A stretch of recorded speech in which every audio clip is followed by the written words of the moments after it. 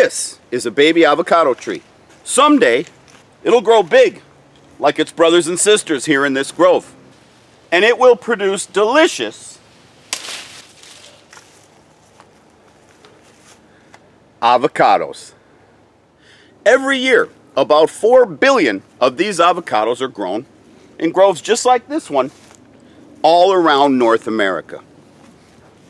But recently, something amazing has happened. There's been a boom in backyard gardening, and more and more people want to grow these at home for their own consumption. Let me show you the process we follow to grow our trees. And if you pay attention and do what I do, you'll be growing beautiful avocados in about three to four years. Just like you, I got to start out with a seed. Let's go get my seeds. Now I'm going to collect my seeds differently than you collect yours, right? You're going to go to the market or you're going to go somewhere, eat an avocado, you're going to set the seed aside. Me, I grow them commercially. And when I fill my orders, I fill them here inside this garage. When I come upon an avocado that I don't want to sell to someone, maybe a maybe I pick it and I didn't notice like a squirrel has eaten it a little bit or it's just so banged up and messed up, I just discard it. I throw it in my little bucket here. And then I just let them sit.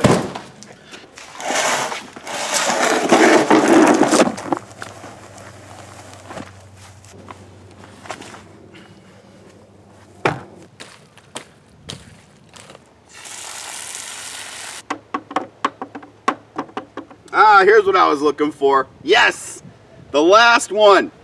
Okay, I had that bucket of essentially fermenting avocados. And every now and then you get one that'll start to sprout before I even put him in the ground. Look at, while he was in the pile with all his brothers and sisters, he started to form these roots. And look at here, here's the shoot of an avocado tree.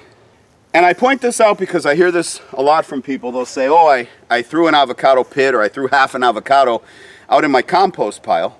And when I went out a couple months later and there was a little tree growing. Well, that'll happen sometimes. That's how resilient and robust these avocado seeds are. Every single one of these seeds is genetically unique. They will grow to a unique tree and they will produce a distinct and different avocado. Now remember, in order to get a Monroe avocado, I need to plant a seed, but I also need to take a cutting from a Monroe tree, such as this one. But before I can take a clipping and graft it, I need a seedling that I can graft onto. And that happens in the shade house. To get started, you will need a one gallon pot, potting soil, whatever the cheapest stuff you can get at the garden center is, nothing special. Fertilizer, and avocado seed. There's a reason I want you to use a one gallon pot. I don't want you to use something small like a red solo cup.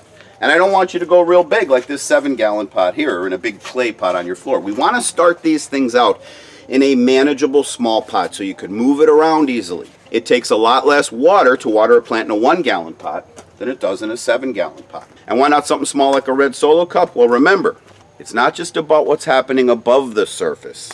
In fact, I would argue early on, it's more about what's happening, happening below the surface. You want these roots to grow, you want them to spread out, you want them to flourish. And to do that, they need room. Now let's talk about our soil.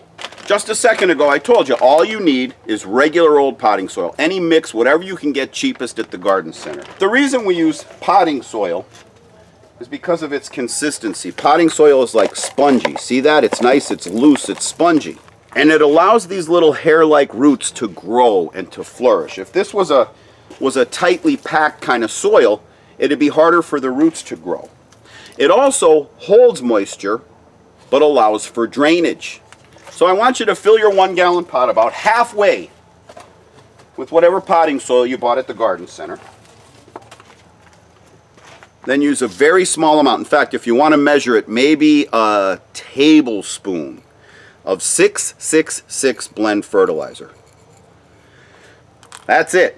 Fertilizers are categorized by the percentages of their nutrients. So a 666 blend fertilizer means that you've got a fertilizer with 6% nitrogen, 6% potassium, and 6% phosphorus. The remaining 82% is filler.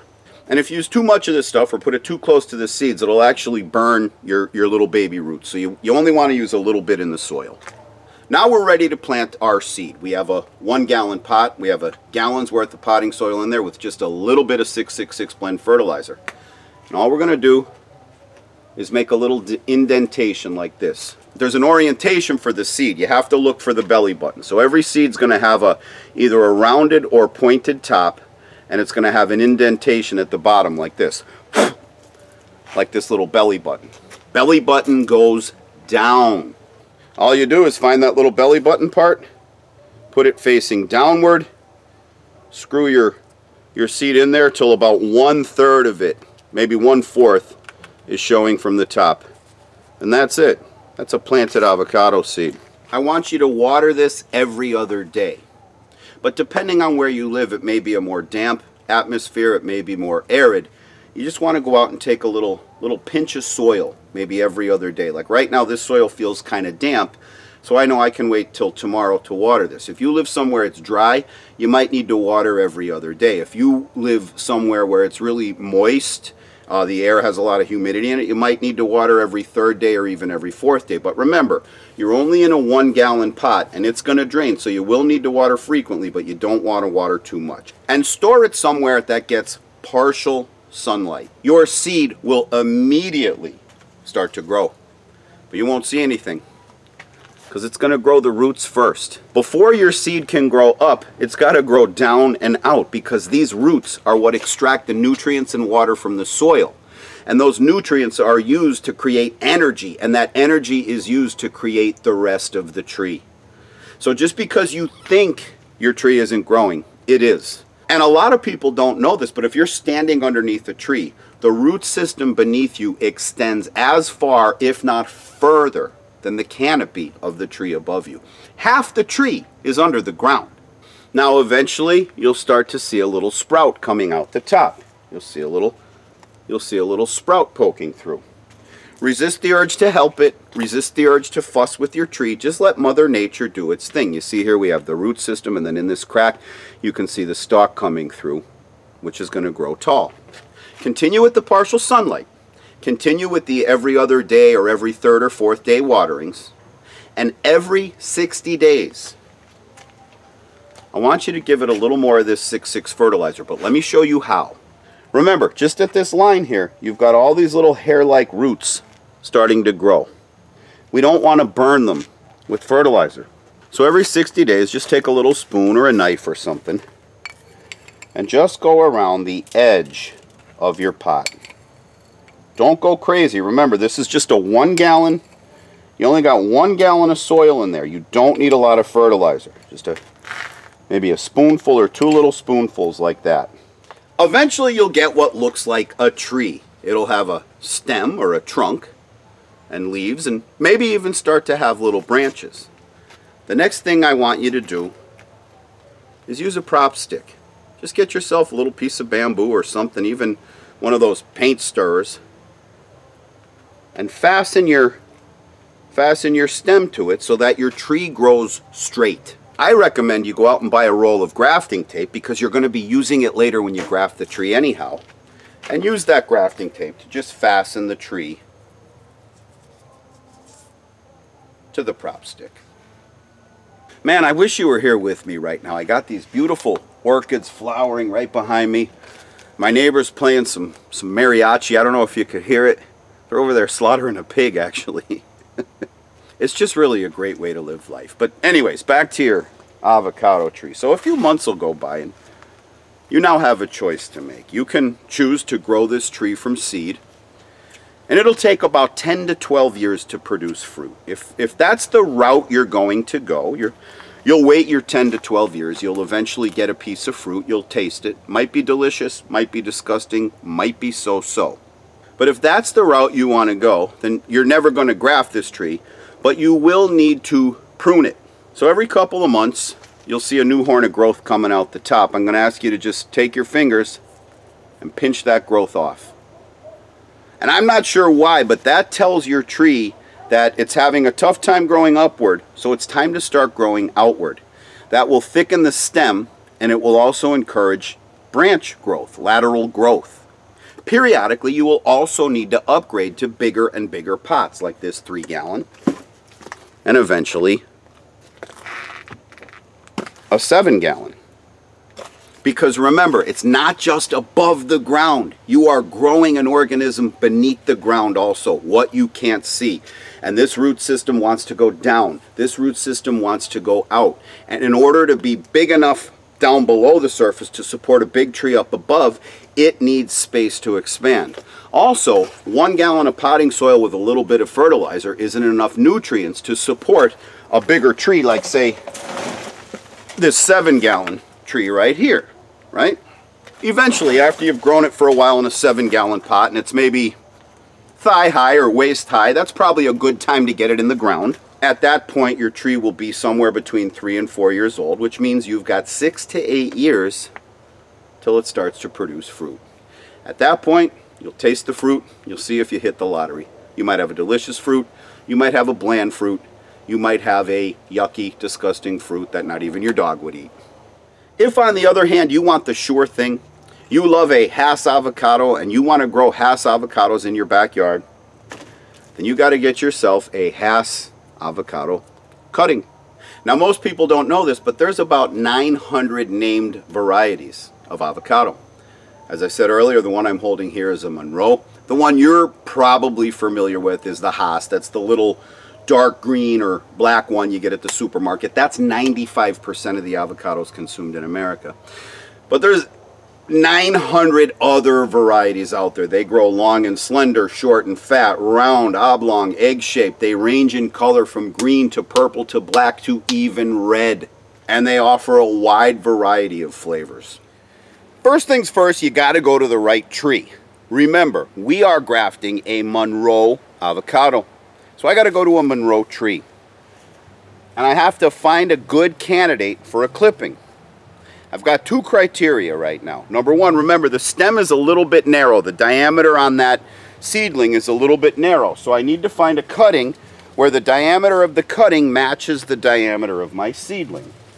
So this one looks pretty good. Let me just give you an example.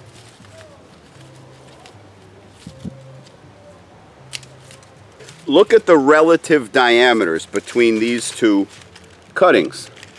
This one here is a lot more narrow than this one here. See the difference? This is a lot thicker. This one will not fit on our seedling. This one has a chance for a fit, but I don't really like it. I just picked it for the example. So again, criteria number one is the diameter of the stem. Criteria number two, I need to make sure that the flower hasn't opened yet. And if we look at this guy, look at that flower on top there, that's already opened up.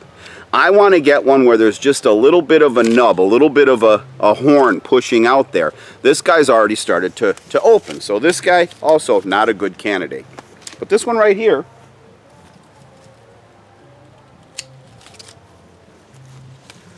going by eye, the diameter looks about right. And if we look here at the flower, it hasn't opened yet. It might be just about starting to open, but I can use that one. I'm going to strip it of its leaves. Let's go back to the shade house. Here we are back in the shade house, and as you could see, this cutting we took out in the grove is a lot more in line. It matches a lot more the diameter of our seedling. Because remember, what we want to do is insert the cutting into our seedling just as was done here. You see that? There's the cut, and there's the insertion. The first thing we need to do is prepare our rootstock. So we're going to go in just a little bit off center make our cut nice and slow and very carefully. And here you could see we have a split in our rootstock. Now it's time to prepare the budwood. Here you see we've made our wedge. Look, there's one side, another side, and it's this green line right here along the bark that we want to match up with the edge of the bark of our rootstock. So now we come back to our rootstock and I could see that, yeah, my cutting or my scion is a tad wider, but not too bad. So I'm going to make it flush on the on the right side here. And it's going to be sticking out a little bit on the left. And the important part when wrapping this up is that you keep you keep the edges flush. So I want to keep the the edge of my budwood, the edge of my scion flush with the edge of my rootstock. And just come around, wrap it up nice. And here you see a beautiful grafted avocado tree. And I'll take care of this just like we did the seedling. I'll keep it in partial sunlight, which for me means this shade house. Every 60 days I'll go around the edge with the fertilizer like I showed you and I'll water it. Here I'll water it every other day. Every now and then I'll skip a day. We're going into our dry season here so I'll be watering this guy every other day. And as long as I see green, I'll know it's alive. Eventually, when the graft takes, it'll start to push out new growth like this one did. See, here's the cutting and then here's the new growth pushing out of the top. And just like with the seedling, I'll eventually put it in a three gallon pot then I'll up it to a seven gallon pot.